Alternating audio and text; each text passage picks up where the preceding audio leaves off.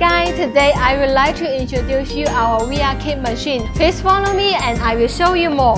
The little cute tiger and bunny design is loved by 3 to 8 years old children. It's a children puzzle product. With interesting and interactive game help children to develop their intelligence.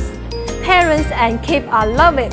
Handheld design, simple operation. Blu-ray VR glasses help to protect children's eyesight. Okay, let's see how the kid like it.